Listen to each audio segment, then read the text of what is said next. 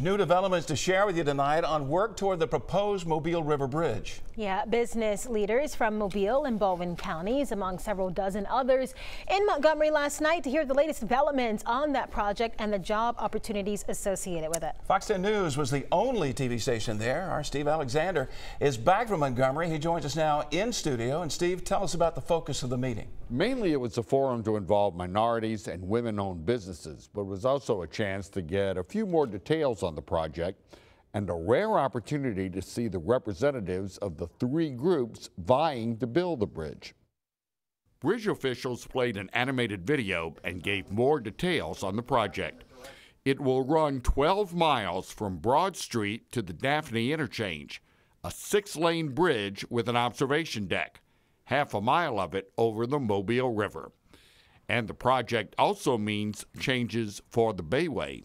The project does include the full replacement of the bayway. The existing bayway is a four-lane structure, and we will be replacing it with a new eight-lane structure.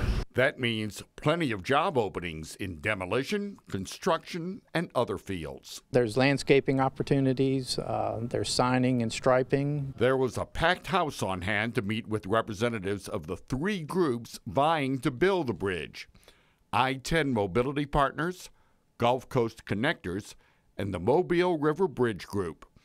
Business people had a chance to meet one on one with the representatives. It's huge. The, the, the, the amount of money and the, the, the revenue it's going to produce, the people it's going to put to work is great. Uh, we're in Spanish Fort, you know, right close to home. I, we're very excited about it. It's a once in a lifetime opportunity. Uh, there will include a lot of work at the seven interchanges.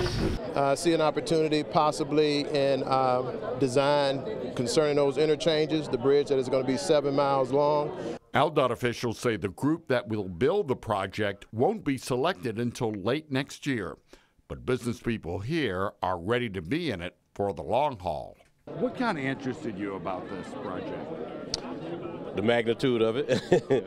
and then I'm looking at uh, longevity and uh, I say uh, a future foundation for my grandkids and stuff. Of course, future is the key word. Construction on the bridge is set to begin in 2020 and completion in 2025. Reporting live from the studio, Steve Alexander, Fox 10 News.